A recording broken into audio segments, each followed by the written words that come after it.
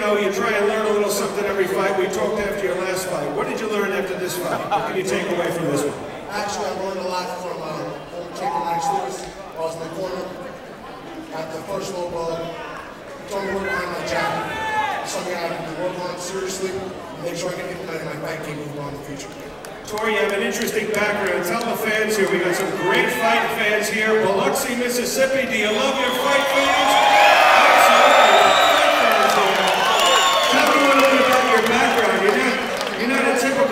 typical boxer. You got a little bit of an interesting background for a fighter.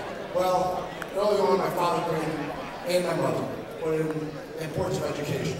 He works now in that Memphis, has been superintendent of schools, reforming well, many women's lives so they can actively pursue advanced degrees in the future.